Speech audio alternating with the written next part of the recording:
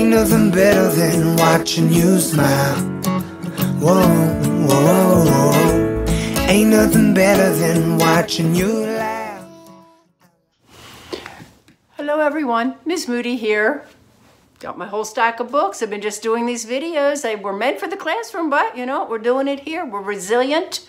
We're doing this, we're writing it out. Ms. Moody's taping this like mid-April, and I feel like it's gonna get better. It really is gonna get better.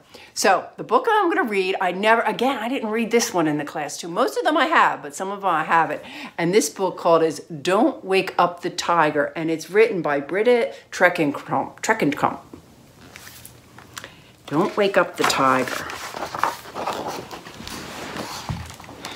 Don't wake up the tiger.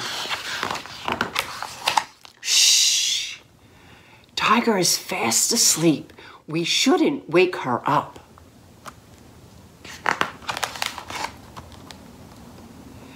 But she's in the way. Whatever will the other animals do? They're in a hurry and they got a big bunch of balloons to carry, too. Oh dear. How will they get past without waking her up? Luckily, Frog has a very good idea. Frog is using his balloon to float over Tiger. Can you help make sure Tiger stays asleep? Let's pet her nose. That always works. Oh, good. Tiger is still sound asleep. Now it's Fox's turn. But look, Fox is too heavy for his balloon, and the balloon is dropping lower and lower. Blow as hard as you can. Oh, Whew, I wish you were here to blow it. Fox made it across. Good job. It's Tortoise's turn now. He's looking a bit worried because Tiger is waking up. Let's pet Tiger's tummy. There, nice and gentle. That'll help her sleep.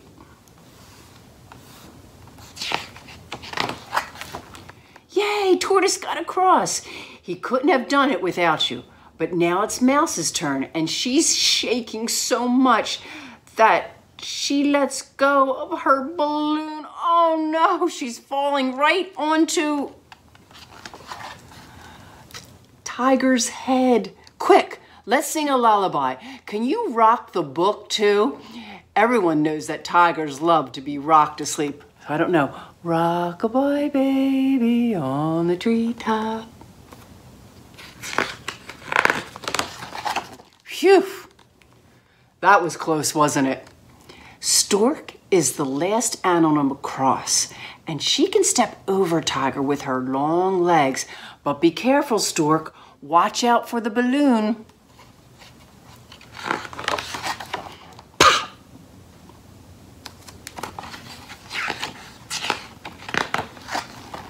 Oh dear, Tiger is wide awake.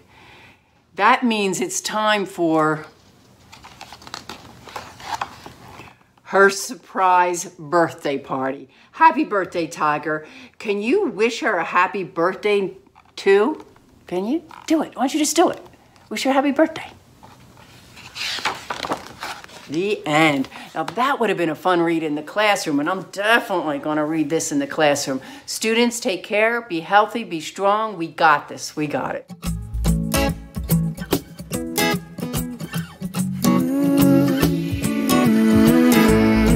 Nothing better than watching you smile. Whoa, whoa, whoa. Ain't nothing better than watching you laugh out loud, my baby. Ain't nothing better than watching you be you. Ain't nothing better than right now.